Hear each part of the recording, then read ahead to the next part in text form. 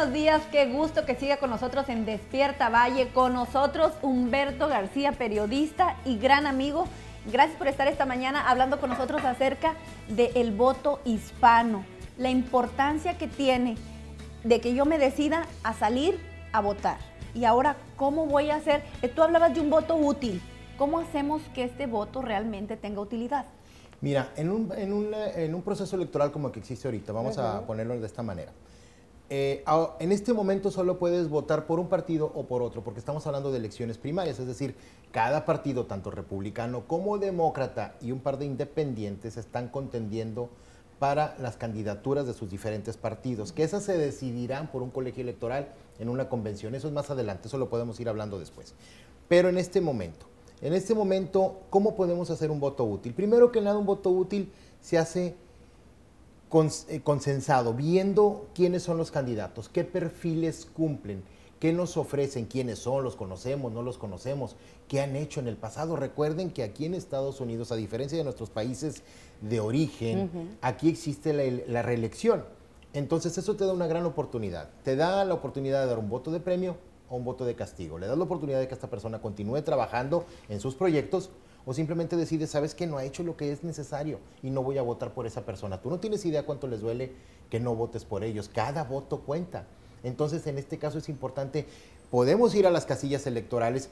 Puede entrar usted al departamento de elecciones del condado de Hidalgo, del condado de Cameron, del condado de Star, todos los condados del estado de Texas y revisar quiénes son sus candidatos y ver estas aplicaciones. Si no, en las mismas casillas electorales, usted puede tener las dos boletas, tanto en inglés, en español, del Partido Republicano, Partido Demócrata, y ver cada una de las candidaturas antes incluso de ir a las máquinas electrónicas y emitir su voto, porque son muchos votos, o sea, son muchas personas las que en este momento están participando en estas elecciones. Y qué bueno que tocas ese punto, porque muchos de nuestra, de nuestra gente, eh, a veces tenemos, siempre tenemos un pretexto para no ir a votar. Entonces creo que no hay pretextos. Tenemos información en inglés y en español. Existe una página en donde puedes acudir y obtener toda esa información. Existen formas de saber por quién vamos a estar votando. Así es. Lo único es que tenemos que tener la iniciativa y aquí, afortunadamente, tu voz y cuenta la mayor parte de nosotros venimos de, países democráticos, en donde a veces nuestra voz no,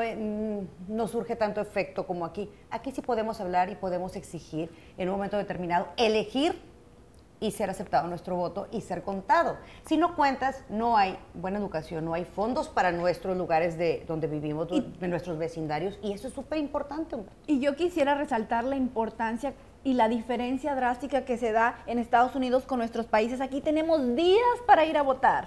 No tenemos como en mi país, México, solamente un día el que tú vas a ir a votar y te ajustas y te ajustas. Aquí no, aquí te dan 10 días para que vayas y votes. A donde quiera. De manera anticipada. Ese es un tema muy importante, lo quería tocar y qué bueno que lo dices, porque esto empezó el 16 de febrero, termina el 26, y todavía tenemos un día general, que es el primero de marzo, para emitir ya el voto. Pero ¿qué necesidad tienes de ir a hacer largas filas, de que te toquen tu casilla, que tengas que estar registrado? Esa es otra cosa muy importante. Si ustedes no han cambiado de dirección, posiblemente les toque en, la dirección donde usted, en la casilla electoral estará en esa área de acción donde a usted le corresponde. Y si usted cambió de dirección y no la ha actualizado, entonces no le correspondería votar en esta elección, sino hasta la de noviembre, que es la general. Yo creo que es importante todos esos datos tenerlos a la mano. Ahora, muchos de, eh, nosotros, bueno, Edith no, pero eh, Dale y yo compartimos ya hijos eh, en edad de votar, ya tienen, ya tienen, ya están participando.